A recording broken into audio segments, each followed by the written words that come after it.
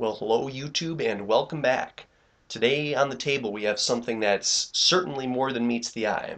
This 61-inch RCA HD 61 LPW42 flat screen DLP rear projection television set is not only the largest and oldest digital rear projector I've ever owned, but has a number of other bragging rights including a possible claim to fame as the first smart TV and also the source of a number of very interesting stories that you'll hear in today's video.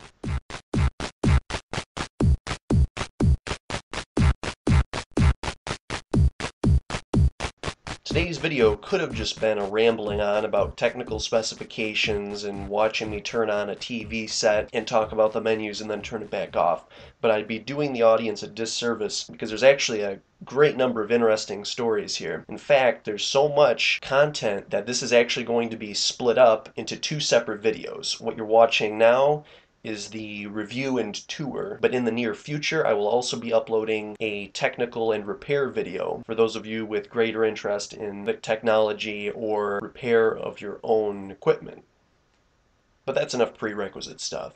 This set is a 61-inch single-chip DLP rear projection television set with a 1280 by 720p resolution powered by the Texas Instruments HD2 DLP chip. Now, the way I came to possess this set is probably interesting in and of itself. You see, we had recently taken a vacation to a family vacation shack where this set had been in service from around 2005 to 2014 or so, when the last spare lamp that they had in it finally died. After we visited in summer of 2015, the family kindly asked us if we would like to get rid of it for them, and we told them that we would be willing to help them out with that. Assuming it just needed a new lamp, I figured that it would be an easy $20 investment and a quick turnaround. The first challenge was transportation. We've never transported anything this large in our van before, and after a quick crunching of the numbers, I found that there was no way it was going to fit. It's simply too tall. However, after taking a closer look, I found that it could be partly disassembled and transported in multiple pieces. And this actually isn't as bad as it sounds. It basically just consisted of pulling the back cover off, removing the faceplate, then removing the screen, and that gave me access to the screws inside of the upper cabinet, securing the upper cabinet to the lower cabinet. From there, it was just a matter of removing the upper cabinet from the lower cabinet, temporarily putting the screen back on the separated upper cabinet, putting the upper cabinet upside down into the back of the van, and then putting the lower cabinet next to it right side up in the back of the van. After we arrived back home, I used the air compressor to clean out as much dust as I could and also cleaned the lower mirror inside of the lower cabinet. After I got everything back together, I ordered a new 260962 third-party projection lamp from a lamp store on Amazon.com, as I had done in the past, with many of the digital rear projectors that you've seen on the channel before, and it arrived a few days later. I installed it right away and the set powered right up, but it became obvious after this that there was another problem, which I go over in great detail in the technical video. After an embarrassingly long repair process, I finally got it working and was able to sit down and play some Xbox 360 on it. Unfortunately, that was short-lived. It only lasted around 45 minutes before a dark egg-shaped patch started growing in the middle of the screen. I almost didn't even notice it at first until it got so large that the entire set was almost unwatchable. My initial research on the issue led me to believe that this may have been caused by a collapsed light tunnel, which is common on these sets, but the problem with that is collapsed light tunnels usually manifest as dark shadows on the edges of the screen with straight edges, not egg-shaped blobs of darkness starting in the center of the screen. When I dug into it, I found that there was actually an acrylic condenser lens that had been burned to a crisp by the cheap third-party lamp. This doesn't happen very often, and there's actually only a few references to it online, but as you can see in these photos that I was able to take, looking into the inner half of the light engine, the burn spot is clearly and obviously visible. Because of the unusual nature of the problem and the already old and relatively uncommon nature of the set, there is no way to replace this lens the entire light engine must be replaced, which is normally completely cost prohibitive. However, I thought I would contact the lamp store and see if they would like to maybe make it right and give me a new light engine. And to my surprise, they actually did just that. While we were at it, I also had them give me a name brand lamp instead of a cheap aftermarket one so that we wouldn't have to deal with another burned up light engine. The result has been nothing short of impressive. Not only does the new light engine not have over a decade of dust caked in on and around it, and a worn out, whiny color wheel, this whole experience has changed my entire outlook on projection lamps. You see, up until this point, I had never understood the difference between inexpensive third party lamps and name brand first party ones. But after putting that new lamp and light engine in there and seeing the massive difference in brightness, I think it's pretty safe to consider me a convert to first party name brand lamps.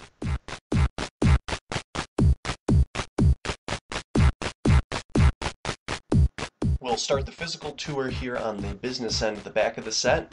Starting on the left here, we have something that I always like to see, a detachable power cord. It's just a standard three-prong computer power cord.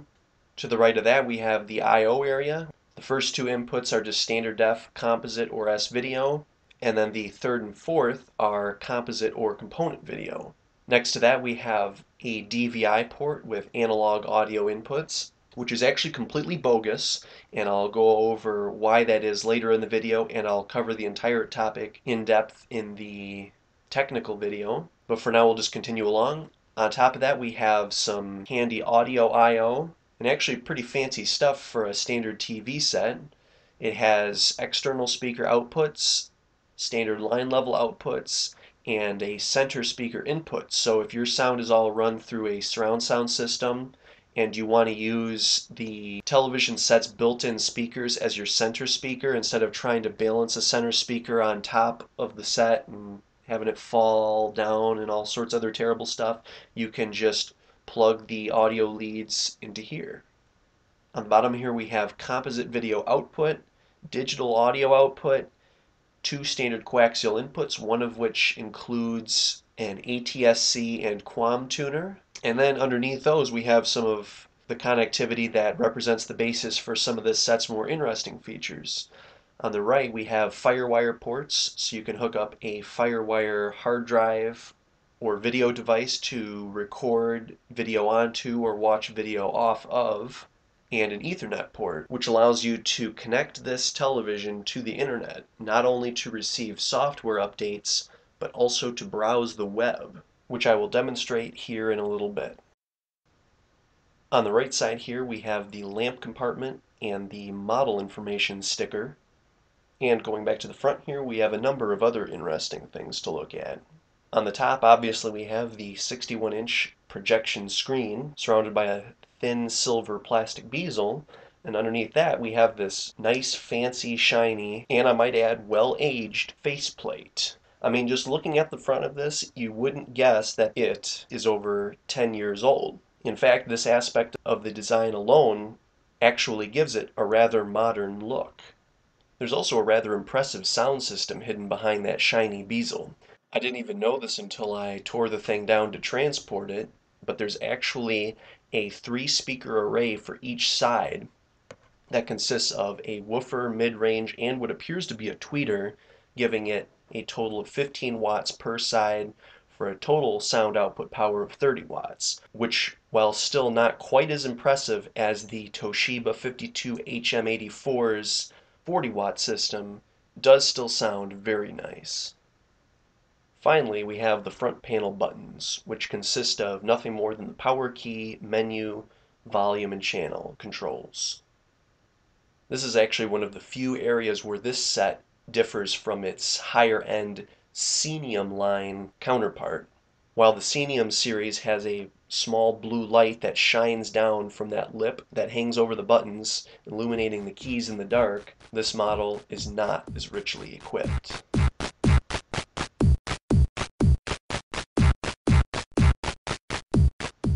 And with that, we will now go ahead and power it up. While it's doing that, we'll take a quick look at the remote. The remote is pretty standard circa 2003 RCA issue. Again, this is one of the other areas where this model deviates from the higher end Scenium series in that this one only has a standard silver remote, but the Scenium series comes with a fancy remote that does the exact same thing but is shiny. However, as far as I know, the remotes are interchangeable. Anyway, as far as reviews go, the people are pretty well split on this one. Many criticize the small buttons, but praise the ergonomics. I tend to not mind the small buttons that much. What actually bothered me more than anything was the fact that there's only one input button and no on-screen menu system for selecting the inputs. So if you're on input 5 and you want to go to input 4, you got to press the button over and over again to cycle through all the other sources instead of there being an up and down source button like there is on the Mitsubishis or an on-screen menu system like there is on many other types of sets. Turning our attention back to the unit, we'll talk about power on times here real quick. From the time you press the power button to the time there is a visible picture on the screen is about 15 seconds. The lamp has warmed up to a watchable level by around 30 seconds and is up to full brightness by around 50 to 65 seconds, which is about average as far as these rear projection sets go.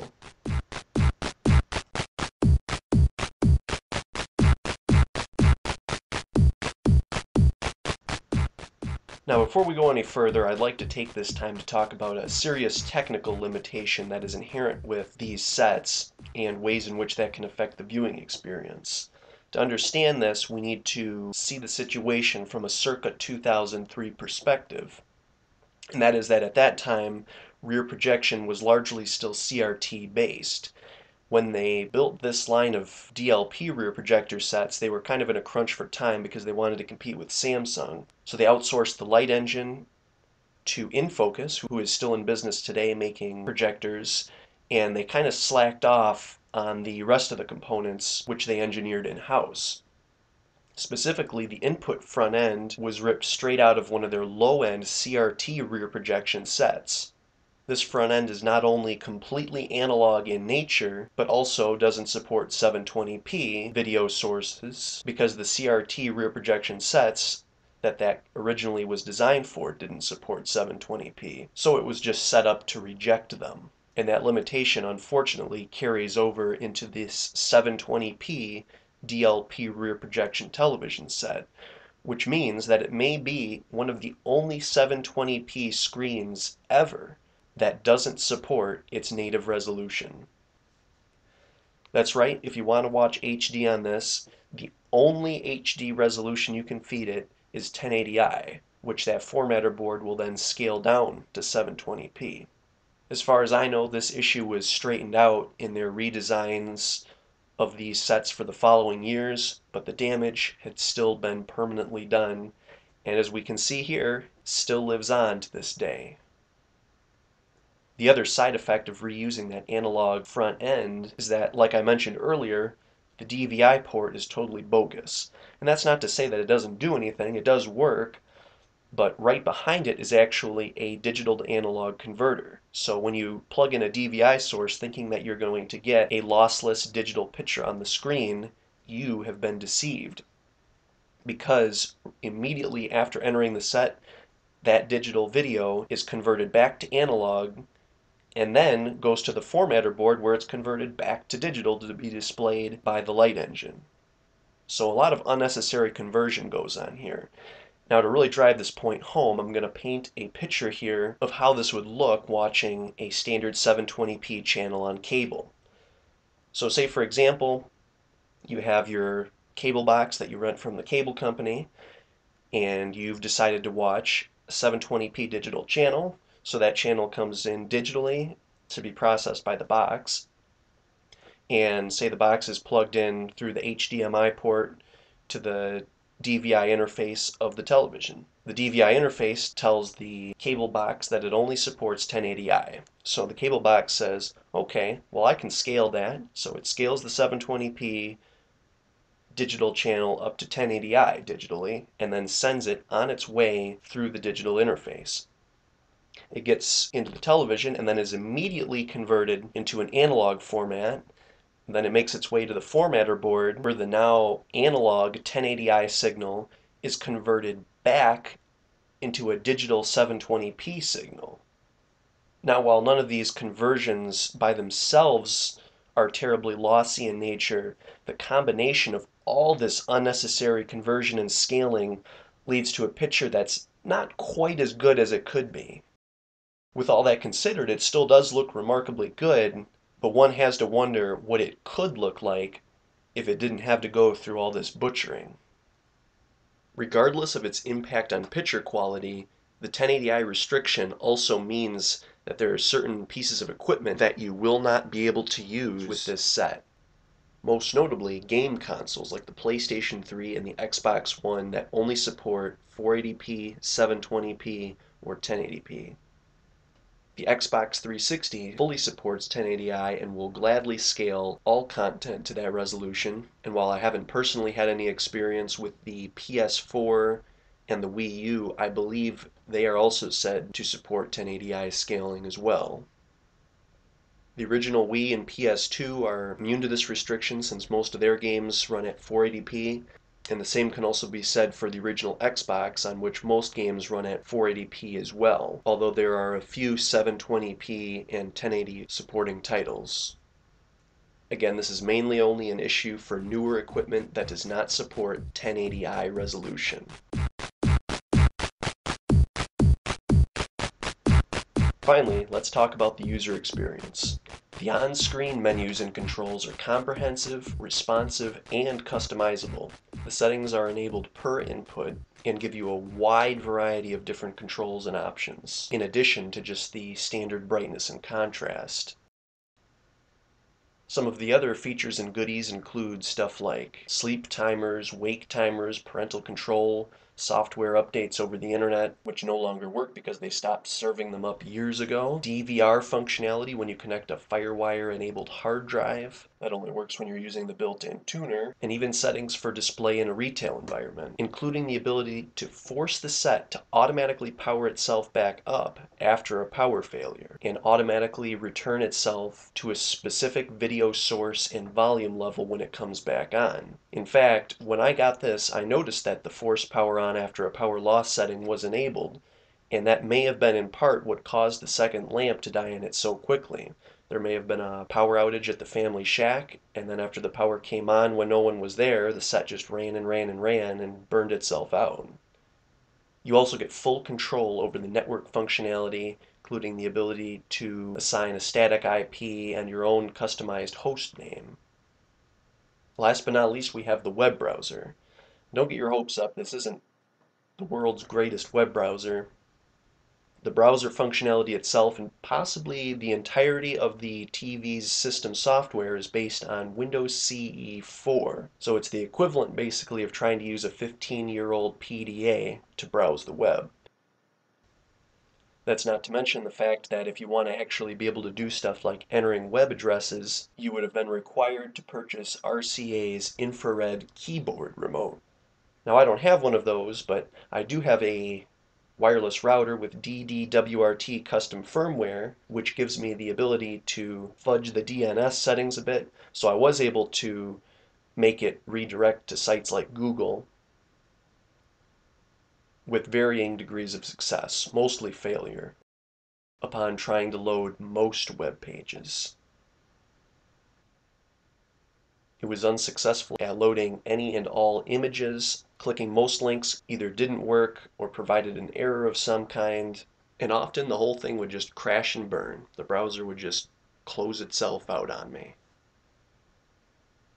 Still, it was interesting to witness the functionality that may have made this one of the world's first smart TV sets.